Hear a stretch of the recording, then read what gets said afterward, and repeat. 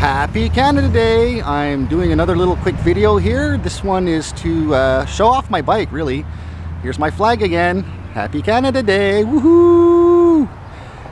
Okay, so this is my bike. I gave a brief presentation earlier on vibrations. and now I'm just going to show off my bike. so uh, this is it, okay? Um, your kit comes with the gas tank comes with the motor. It comes with the carburetor not attached. Here's your clutch, clutch cable, which needs to be attached. There's a chain here that mounts after you've put on this sprocket. Uh, this sprocket is a real pain in the butt to get on there. You need nimble fingers and patience, lots of it. That mounts onto the back wheel. Then you have a chain tensioner, which um, were the first bolts that failed, and I put some brand new ones. These are all grade 8, and uh, they're tough as nails. Uh, probably tougher. Uh, you get this little uh, exhaust here, which uh, doesn't really quiet the bike down much, but it does clean it up. I added this pipe here, which threads through and goes along here. And the only reason I really did that is because it's a two-stroke and it puts out a lot of smoke. And when it was breaking it in you put more oil in it and uh, basically uh, the kickstand got covered in oil and the back wheel got covered in oil and the brakes were becoming ineffective. So me and my friend we uh, made this piece up from an old piece of plumbing or air conditioning and it just carries the fumes out to the back so that I don't have to breathe them and I don't get grease all over my bike. Um, it's not much of an issue anymore now that I'm on standard uh, mix, uh, but uh, still, you know, it looks kind of cool. Uh, so you install that, and again, this is a Bush Pilot, and uh, you can't really read it because uh, the ignition is in the way. The ignition leads to your spark plug, and You've got your little carburetor with the gas line that runs to your gas tank. You've got to install the petcock. I put uh, I put these little locks on there. They don't come with the kit. I uh, I went and got those. I had to put a little extension over here on my throttle cable. Uh, it's really loose, and uh, this is how I get uh, all of the uh, all of the pull from the carburetor. So yeah, and then I went and I put this seat on. It's nice and wide and it uh, doesn't put too much pressure and uh, it's nice and comfortable for my big butt. And uh, these are just some Nighthawk lights that I bought uh, a few years back. They're old school, but they work. Because where the motor is, uh, there's no water bottle and there's no water bottle holder. So I custom mounted the battery to the front of the bike with uh, just some hose clamps. And that worked out really fine and you can see there's not it's just a bike really. Uh, put some nice fenders on it repainted them red. They were originally red. I left them that way. I uh, installed some shocks so that uh, you know get a little bit of comfort.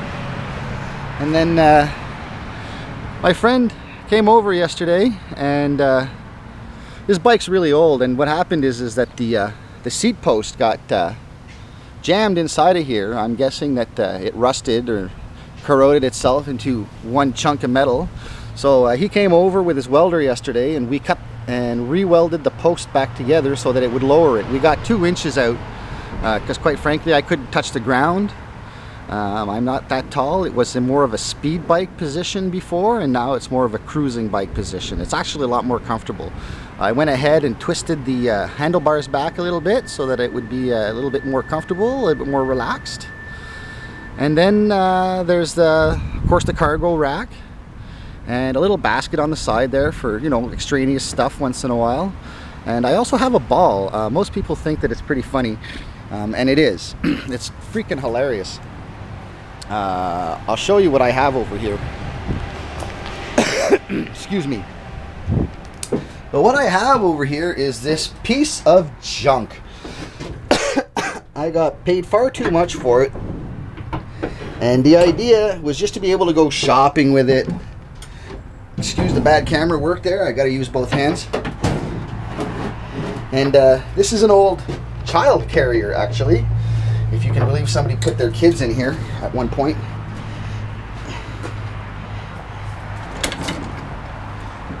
Gonna roll it out in the shade. And uh, yeah, it's really old school. It's an old cargo Norco plastic bucket. And uh, I would not put anybody's children in here. But um, when I bought it, the hitch was toast. It was gone. And uh, when I went online and in stores to look for some replacements, um, they wanted a hundred bucks. They were out of their minds. So after looking around, I found that if I just buy um, a hitch kit that you see here and a ball that I can mount on my cargo rack over there, I can pull this really well and it's actually quite effective. I've used it once so far and uh, you don't even know the thing's there, uh, especially with the motor pulling. Uh, you just got to remember to take wide turns. And uh, instead of a hundred bucks, uh, it was uh, $25 for the hitch kit and the ball itself, which is great because having those things can be pretty handy to get things done.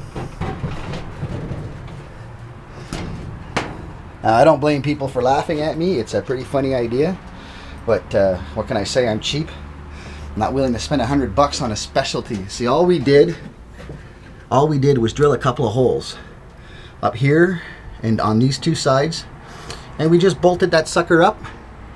And uh, the ball's right over here. And it's just mounted to the back of the rack and uh, and we're golden. It's uh, it's pretty funny. I just mount it. Uh, oh, I just mounted right over here inside this space. You can see the damage where that got bolted on there, and uh, it pulls like crazy. So uh, this is my bike. I call it the Hardly Pedalson. Not original, I know, but I like it anyway. And uh, I use it to go to work. It's awesome. Thanks for your time.